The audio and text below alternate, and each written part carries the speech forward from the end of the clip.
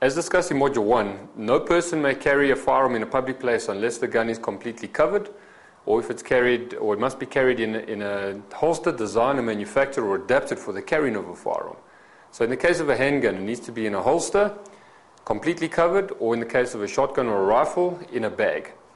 Now, in terms of handguns, you get various different types of holsters and different types of carry methods. Um, we suggest on the holsters, make sure that the gun fits properly in the holster. Make sure also that the trigger is covered by the holster. We just find this from a safety aspect that when people tend to draw, if the trigger is covered by the holster, um, there's less chance of the finger going onto the trigger. Make sure also if you jump up and down that the gun doesn't fall out. It must be securely fitted to the holster. And you also obviously get holsters with uh, retaining straps on top, which keep the gun in place. This particular holster, as you can see, has a retaining strap, which is pretty useful for a firearm that has a hammer. And if you like to carry a firearm with a round in the chamber, you'll see that the strap is between the hammer and the slide or the firing pin. So the potential for accidental discharge here is very limited. And also the retaining strap prevents the gun from being taken out of the holster. As discussed earlier, we also like the trigger guard to be concealed so that when drawing the firearm, there's no way you can have your finger on the trigger. This is a, they call it a three way holster. You have a clip on the outside. So, what would happen is th- this holster would fit inside your trousers and the clip would go over the front. So, this could work as an inside pants holster it could also work as an outside holster on your belt. Your belt can go through there and retain the firearm in the belt.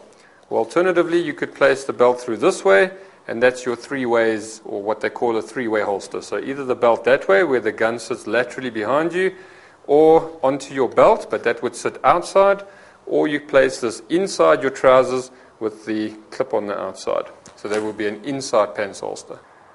This particular holster is designed purely for inside the pants, where the belt goes through there, and the gun sits inside your pants with this hooked over your belt. You'll see that this is, does not have a retaining strap. But what I do like about this holster is that it, it's covered in the trigger guard. And the other aspect that I like about this holster is that the actual holster itself is steel inlaid. So being inside the pants, when you draw the firearm or holster the firearm, it actually maintains its shape all the time. As opposed to one of these, the Cordura holsters, where when you produce the gun from the holster, the, gun, the holster actually closes up and makes it very difficult for reholstering. Um, so these holsters are very effective and very easy to conceal because it's inside the pants. In fact, if you just put your shirt over the top here, all you'll see is the loop, but you can't actually see the firearm. And again, according to the law, the gun must be completely covered. So for your shotguns or your rifles, we have a rifle bag. The shotgun should be placed into the bag, zipped up, and when carrying the rifle like this, it must be in your direct control. So, in a public place, you can't leave the shotgun lying somewhere while you're trying on a pair of shoes. The gun must be in your direct control, which means you must have some kind of hand on the handle and make sure that you're in control of the firearm.